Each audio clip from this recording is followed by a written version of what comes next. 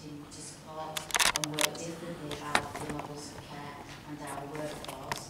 So um, for, for those um, individuals, you know, we need to provide assurance and confidence to families that when their loved ones are with us, that they will continue to receive the same level of care that they receive when they're at home.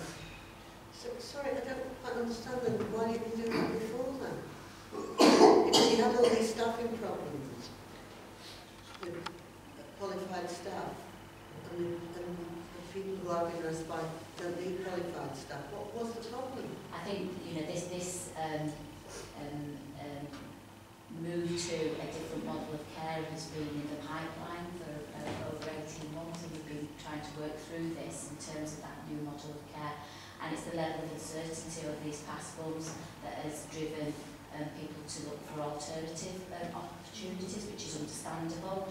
Um, and I think now that we can start thinking of some certainty with these members of staff about what they're doing now and what their future will be, will help us to retain those staff.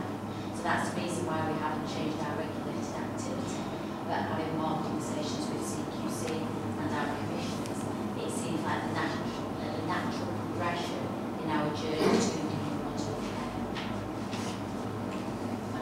Thank you, Bruce.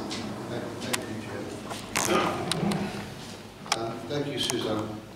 Uh, I'm very, very concerned in as much as um, we had a perfectly good facility in Girtrell Court, uh, which gave respite facilities. Um, the, we were told that people no longer wanted that type of, uh, of facility, that they wanted more choice. Girtrell Court was closed, losing 20 beds. The facility that replaced it, even though it was a modern facility, was only 10 beds. So straight away, you know, we've lost um, 50% of what we had. Um, the staff that worked at Girtrell Court were council employees who were extremely happy in their employment. There wasn't a large turnover of staff. Um, as you said yourself, people don't like change. When the, when the residents are, are in a, in a, a known um, accommodation um, and they get settled, they don't like something different.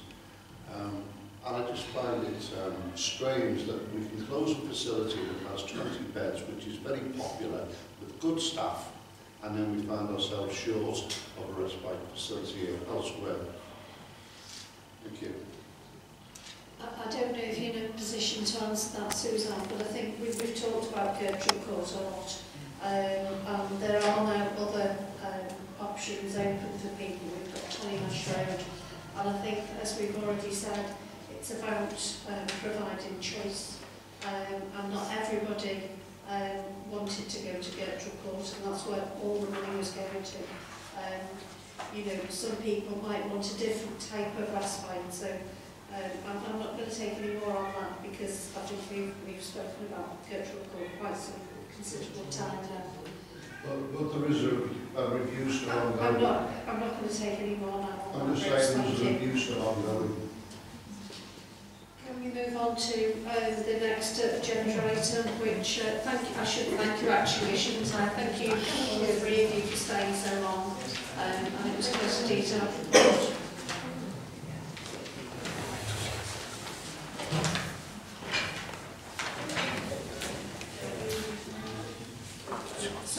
absolutely left out of post.